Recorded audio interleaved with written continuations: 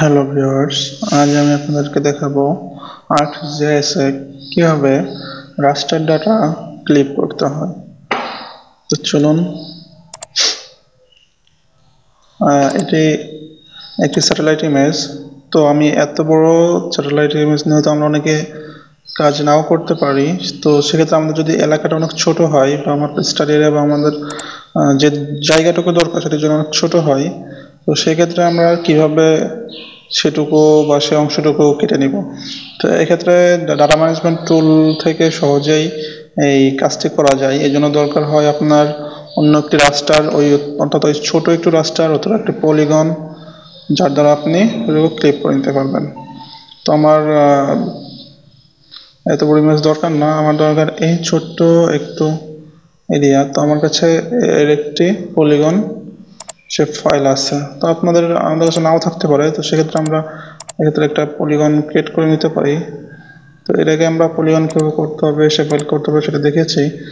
যারা আমি ওখানে যাব না, আমি সরাসরি চলে যাব আমার কীভাবে ক্লিক করতে হবে। তো এটি দুইভাবে করা যায়। আর্ট টুল বক্সে গিয়ে ডাটা ম্যানেজমেন্ট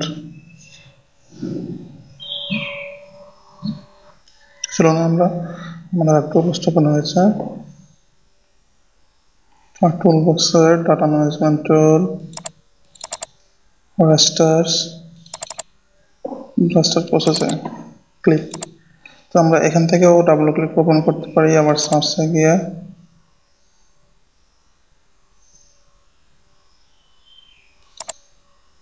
তো ক্লিপ ডাটা ম্যানেজমেন্ট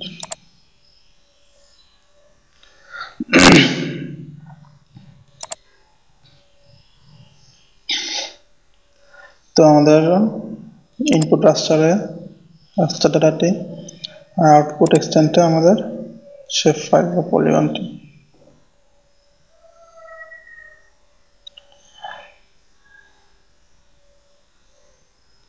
তো আমাদের এখন কোথায় সেভ করব? আমি সেভ করব যেখানে সেভ দেখিয়ে দিতে চাই।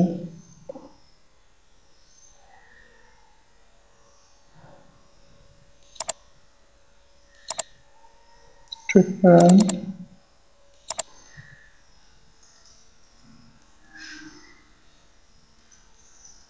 master clip না একটু বড় হয়ে গেছে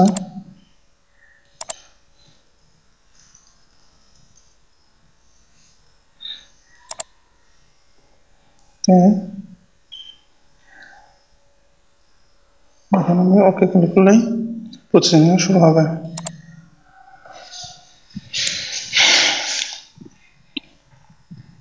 ক্লিপ দুই ধরনের, একটি রাস্টার ক্লিপ আর একটি ভেক্টর ক্লিপ।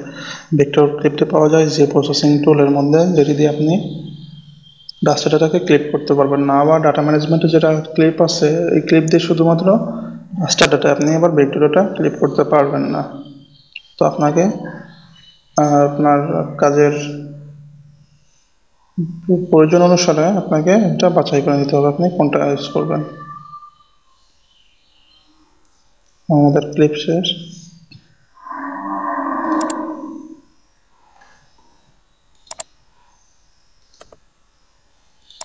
হ্যাঁ আমাদের ক্লিপ আপাতত শেষ। দেখুন, আমাদের ক্লিপ হয়েছে একটি স্কোয়ার হয়ে যদি এটা আমরা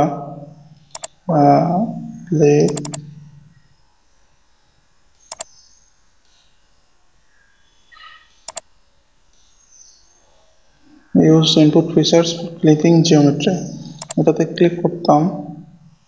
তাহলে আর আমাদের এই চার কোনা ঘর আসতো না, শুধুমাত্র আমার পলিগন যতটুকু ছিল ততটুকু আসতো। দেখুন। আমার পলিগন যেটা ছিল, শুধু সেইটুকুই এসেছে। আর ওখানে কোনো কিছু ক্লিক না করে ও কী করেছে একটি? চার কোনার একটা বক্স দিয়েছে, অর্থাৎ বলো রেক্ট্যাঙ্গুলার আবার নিচে আরেকটি অপশন ছিল। যদি আমরা ক্লিক করতাম, তাহলে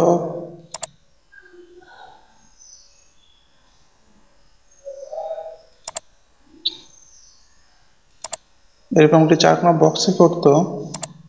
এই বকগুলোকেও কালো দেখাতো। তো আমরা এইভাবে আমাদের ক্লিপের কাজটি রাস্টার ক্লিপ টারা ম্যানেজমেন্ট টুল থেকে করতে পারি।